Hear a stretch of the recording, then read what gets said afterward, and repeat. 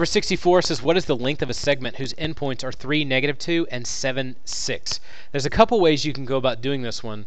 Um, first off, we wanted the distance from one point to another, so we could just use the distance formula. And there's the distance formula. I'm going to write it down over here. Square root of x of 2 minus x of 1, which shows you how far the x's are apart, squared. y of 2 minus y of 1 squared. This is just a derivative of the um, Pythagorean theorem.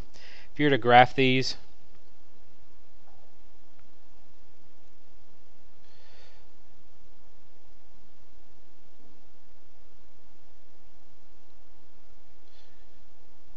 they want to know how long this distance is, you could actually recount it.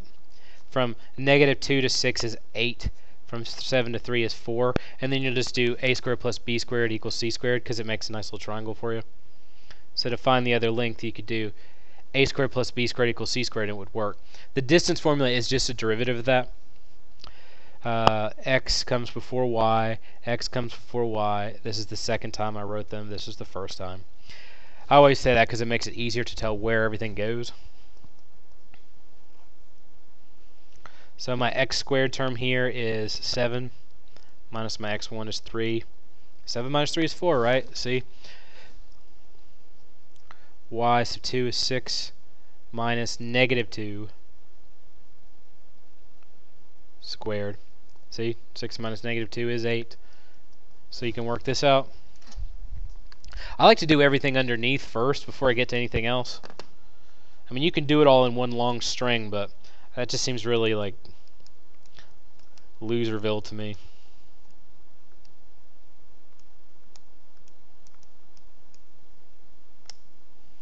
Eighty.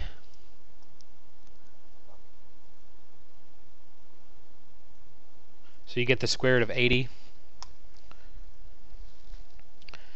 Uh, there's a couple ways to go about it once you get to this point. Uh, you can start typing in the answers, or figure out what square root of 80 is. Gives you 8.94. And then just try your answer choices.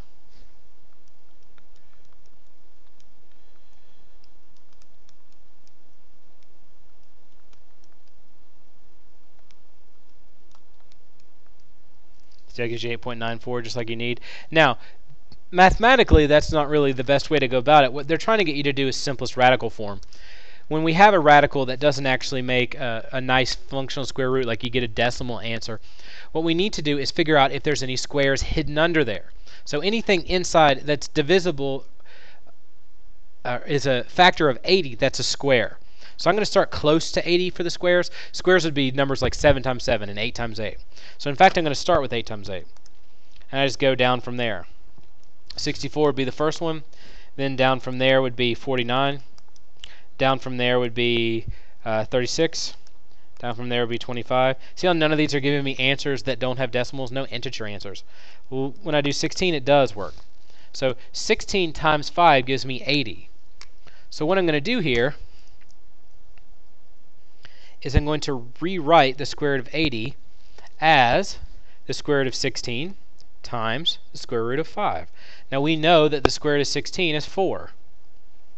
This is as far down as the 5 goes, so I do 4 times the square root of 5. The reason I start with the square closest to 80, by the way, is to make sure this is my final answer. If you go up from the bottom, 4 goes into 80 as well, but then you'll have to redo the same process again to get that extra 4 out, and then it'd be 2 times 2 is 4. Don't waste your time. Start with the number closest to the 80, and then go down. You get 4 times the square root of 5. So the answer to number 64 is J.